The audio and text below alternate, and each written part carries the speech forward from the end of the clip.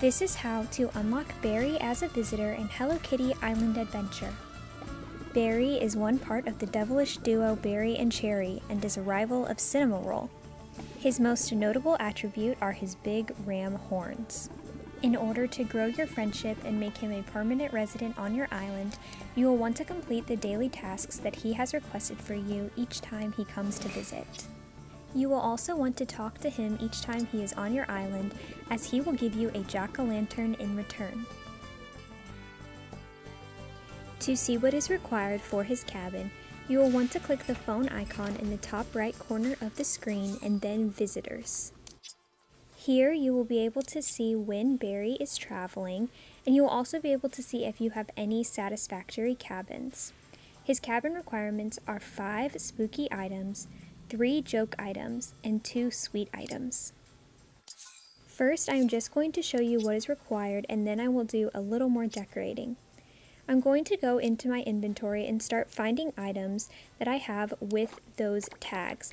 So the Ultimate Joke Pizza has the joke tag, so I'm going to be placing three of those down. I'll also be looking for items with the sweet tag on them and items with the spooky tag. For the spooky items, I did decide to place jack-o'-lanterns down, however, there are many food items with the spooky tag as well as furniture items with the spooky tag.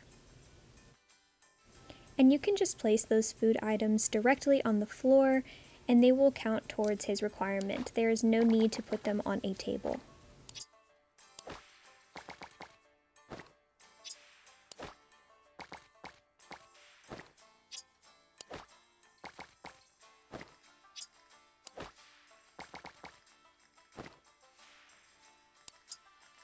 To be sure that you have met all the requirements for his cabin, you can go back to the visitor tab and you should be able to see if the cabin is now a satisfactory cabin, as well as green check marks next to each of the requirement indicating that you have fulfilled that requirement. Now I will go ahead and do a little more decorating.